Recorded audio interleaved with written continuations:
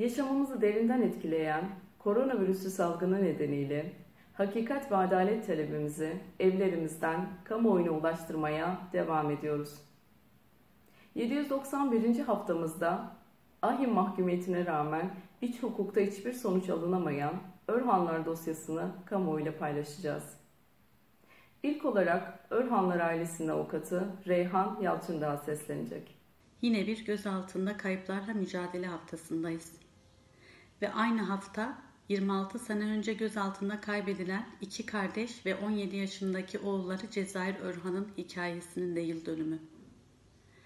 24 Mayıs 1994 tarihinde yaşadıkları kulpa bağlı köylerinden gözaltına alındıktan sonra bir daha haber alınamadığı için kendilerinden İnsan Hakları Derneği Diyarbakır Şubesi olarak dosyanın takibi yapılmış ve nihayetinde 2002 senesinde Türkiye gözaltında kayıptan sorumlu bulunarak yaşam hakkını ihlal ettiği gerekçesiyle Avrupa İnsan Hakları Mahkemesi tarafından mahkum edilmiştir. Dosyanın üzerinden 20. sene geçtikten sonra e, zaman aşımı uygulanarak failler hakkındaki e, son dosyada kapatılmak istenmiştir.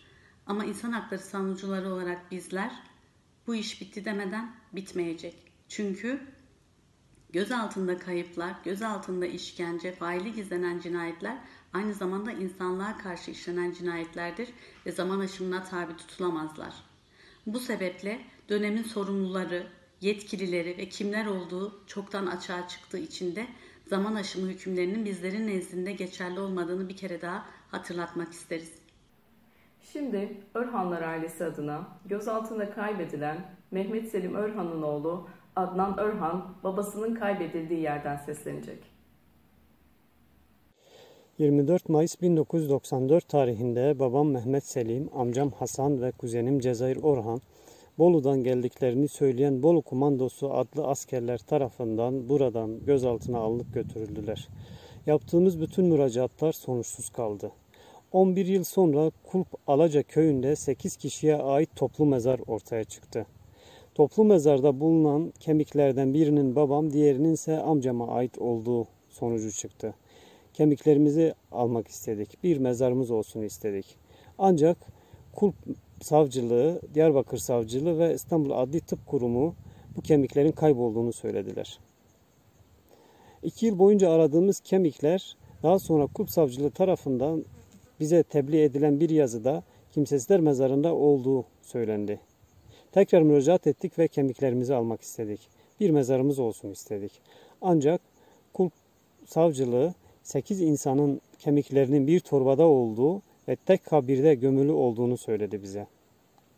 Bu nedenden dolayı mezarlığın açılmamasına karar verilmiştir denildi. Ve bir mezarımız olmadı. Mücadelemizden vazgeçmedik. Vazgeçmeyeceğiz. Yıllardır verdiğimiz hak hukuk mücadelesi devam ediyor. Ta ki katiller yargılanana kadar, cezalandırılana kadar ve adalet sağlanana kadar. 791. haftamızın basın açıklamasını 12 Eylül kayıplarından Hayrettin Eren'in yeğeni Setenay Yarıcı okuyacak.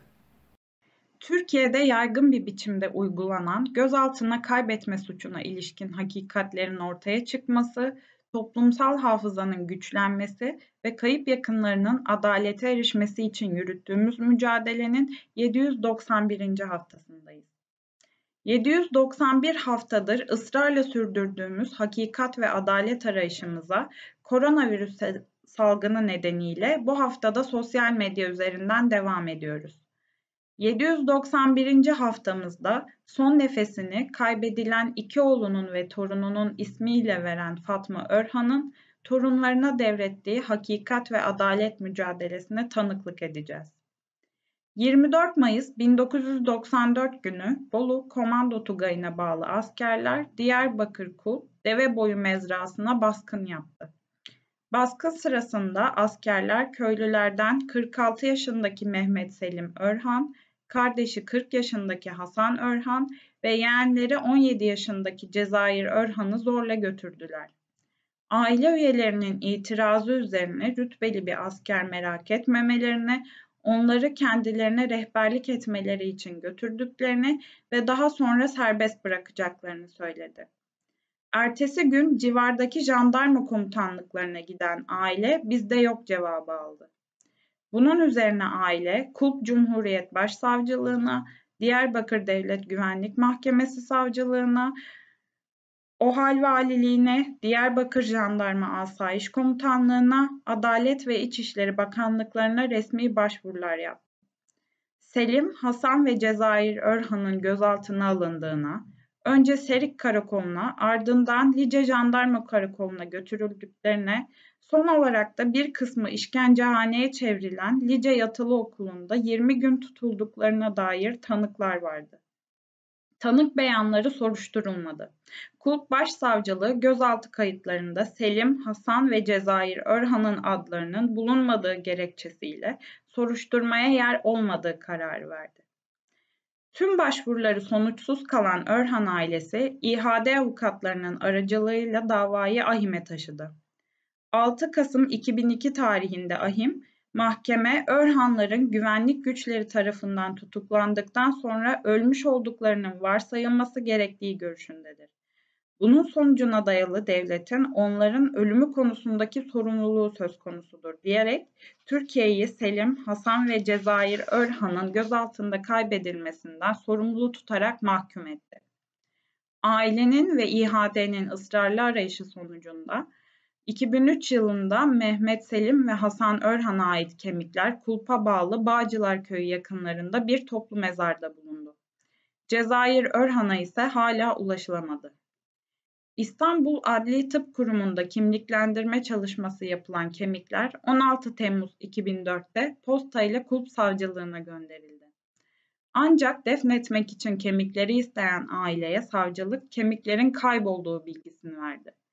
Aile ve İHA'de bu sefer de kaybedilen kemiklerin peşine düştü. 6 yıllık arayışın ardından Örhanlara ait kemiklerin aynı toplu mezardan çıkan 6 kişiyle birlikte topluca kimsesizler mezarlığına gömüldüğü anlaşıldı.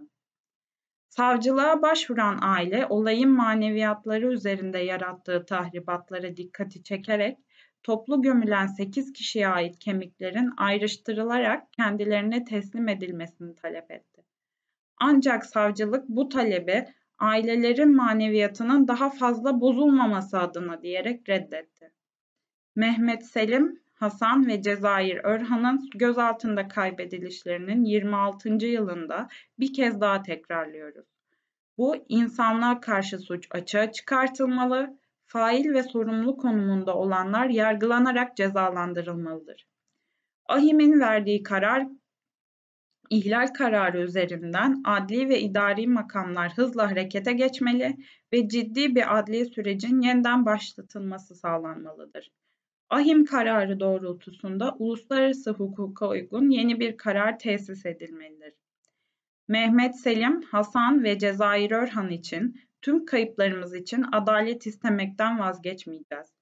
92 haftadır hukuksuz bir biçimde bize kapatılan kayıplarımızla buluşma mekanımız Galatasaray'dan vazgeçmeyeceğiz. Cumartesi Anneleri İnsan Hakları Derneği İstanbul Şubesi gözaltında kayıplara karşı komisyon. Hakikat ve adalet talebimizi her cumartesi saat 12'de sosyal medya hesaplarımız üzerinden kamuoyuna ulaştırmaya devam edeceğiz. Sizleri de Taleplerimizi ve açıklamalarımızı sosyal medya üzerinden yaygınlaştırarak sesimize ses katmaya çağırıyoruz.